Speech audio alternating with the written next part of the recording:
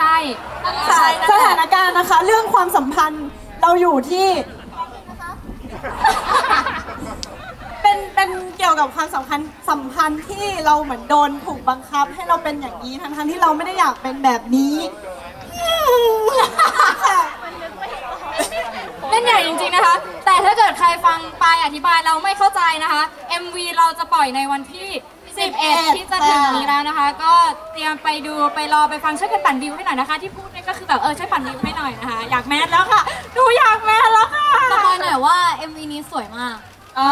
อแสงแสงสวย ไม่แสงมันไม่มีความมืดมากแล้วไงชงไปสวรรค์เลยค่ะก็ไปฟังกันเลยนะคะกับเพลง If You Want Me ค่ะ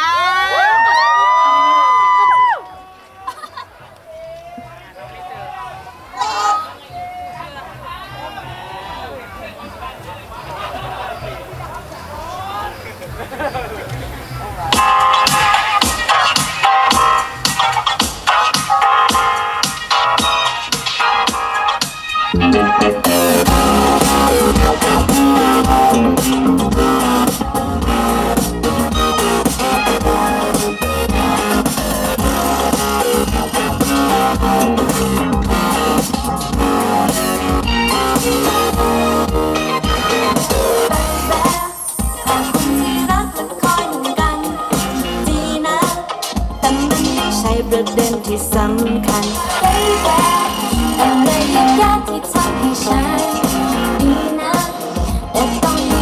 นี้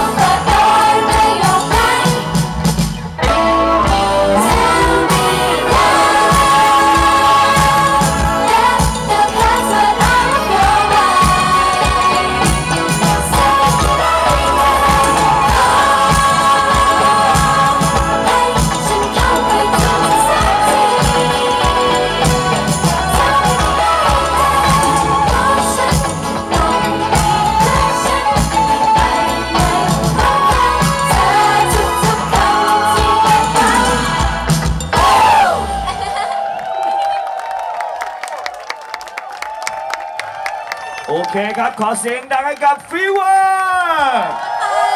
นะฮะวันนี้ฮะอย่าเพิ่ง